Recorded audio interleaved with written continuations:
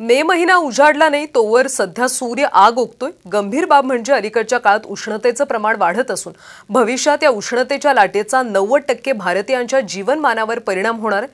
पाहूयात हा रिपोर्ट. नव्वद टक्के भारतीयांना छळणार उष्णतेची लाट. केम्ब्रिज विद्यापीठाचा अहवाल. मृत्यूचं प्रमाण वाढण्याचीही भीती.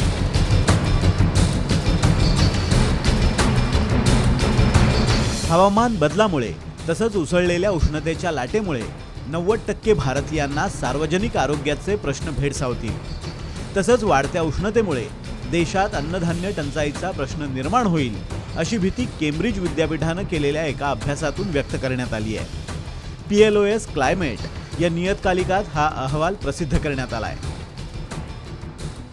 सततच्या उष्णतेच्या लाटांचा दोन हजार पन्नास सालापर्यंत अडतीस कोटी भारतीयांच्या आयुष्यावर विपरीत परिणाम होईल.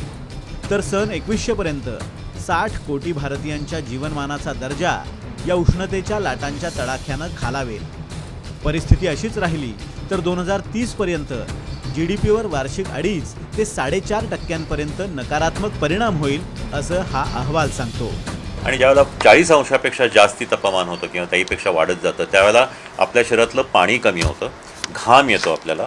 आणि त्यामुळं पाणी कमी होतं. त्यामुळे जर पाणी तुम्ही प्यायला नाही तर तुमचं जे रक्तदाब आहे तो खूप कमी कमी होत जातो. जास्ती काळ उष्णता किंवा हवामानचं तापमान जास्ती राहिल्यामुळं आपली कार्यक्षमता कमी होते आणि त्याचा परिणाम आपल्या जी डी पीवर जो आहे जो आपल्या देशाच्या ज्या उत्पादन क्षमतेवर होतो. देशाचा नव्वद टक्क्यांपेक्षा अधिक भाग उष्माघाताच्या प्रभावामुळे डेंजर झोनमध्ये आहे. यात संपूर्ण दिल्लीचा समावेश आहे. वातावरण बदलामुळे भारतात उष्माघात सातत्यानं वाढत असून तो धोकादायक आजार बनतोय. त्यामुळे कमी होत चाललेली हिरवळ जपून निसर्गाचा समतोल साधण्याकडे सरकारनं लक्ष द्यायला हवं. अन्यथा पुढच्या पिढ्यांना गंभीर परिणाम भोगावे लागतील हे नक्की. Sachin Jadhav Saam T V news Pune.